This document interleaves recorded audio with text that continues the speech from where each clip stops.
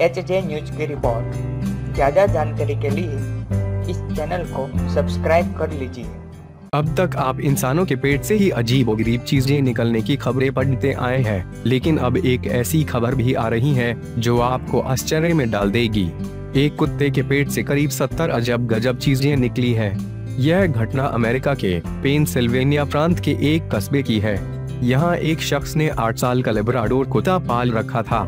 पिछले कुछ दिनों से यह कुत्ता अस्वस्थ चल रहा था। दवाओं के असरहीन साबित होने पर यह उसे अस्पताल लेकर पहुँचा। पेट को ज़्यादा फूला देखकर डॉक्टर ने एक एक्सरे की सलाह दी। एक एक्सरे हुआ, लेकिन रिपोर्ट देखकर सब हैरत में थे। इस कुत्ते के पेट में कई अखाद्य वस्तुएँ पड़ी थी। लिहाजा इसके ऑपरेशन की तैयारी होने लगी। कुत्ते के पेट से बासठ हेयर बैंड आठ जोड़ी अंडरवियर और एक बैंडेज को निकालने में दो घंटे तक ऑपरेशन चलता रहा। ऑपरेशन करने वाले डॉक्टर ने कहा कि 12 साल के करियर में मैंने बहुत से जानवरों का ऑपरेशन किया और उनके पेट से तमाम चीज़ें निकाली। लेकिन इस कुत्ते के पेट से निकली चीज़ों ने सबको पीछे छोड़ दिया।